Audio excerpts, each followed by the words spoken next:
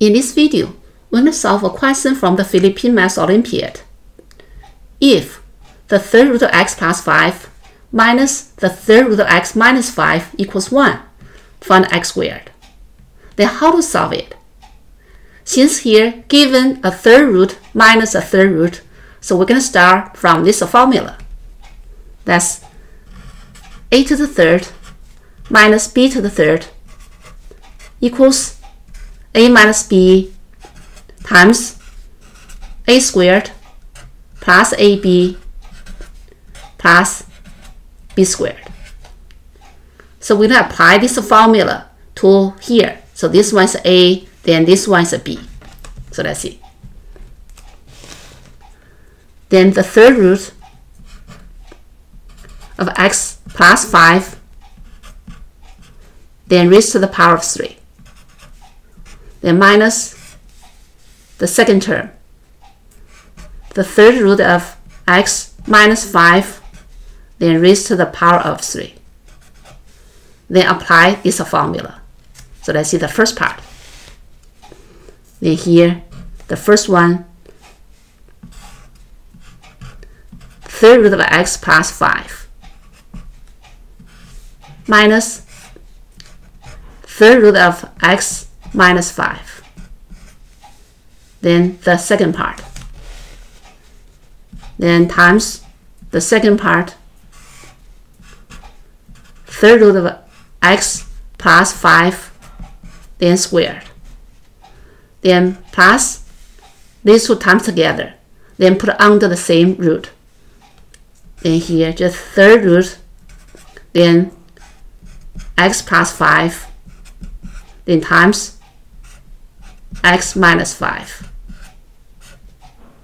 Then this term,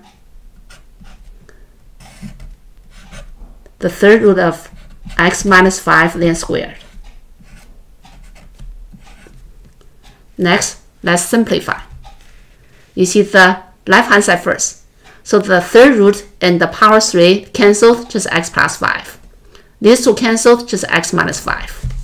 So now let's see the left hand side. So the left hand side, we have x plus 5, then minus x minus 5.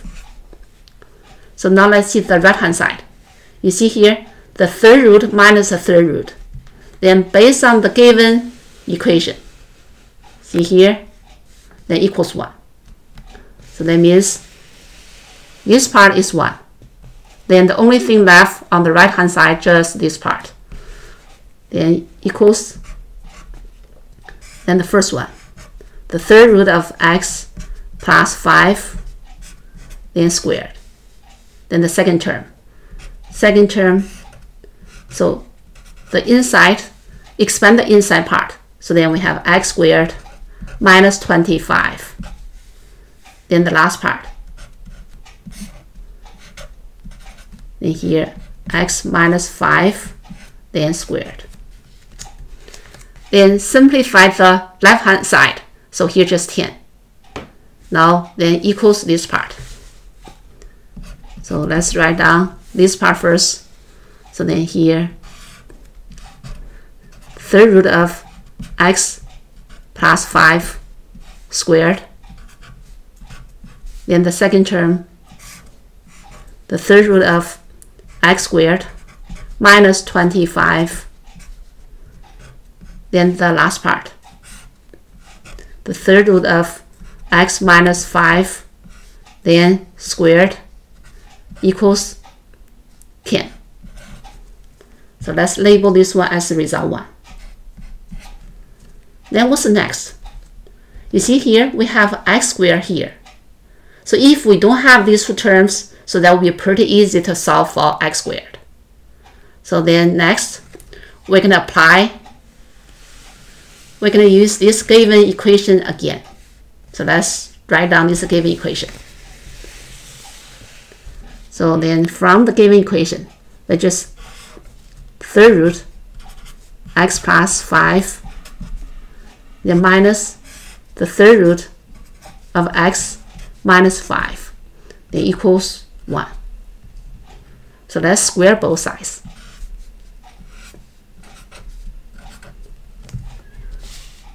Then let's expand the left hand side.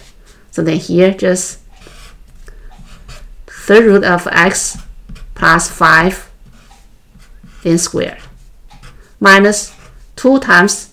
So combine these two together put under the same root. So then the third root then these two times together that's x squared minus 25 then this part and here the third root of x minus 5 then squared then equals 1 so let's label this one as the result 2 so next so we're going to do result 1 minus result 2 so let's see. So then if we do the subtraction so the left hand side minus this left hand side. You see then these two cancelled then these two cancelled. So the only thing left is this term minus this term. So then we have the following. Then here just 3 times the third root of x squared minus 25. Then for the right hand side, then just 10 minus 1, which is 9. So then equals 9. Then both sides divided by 3.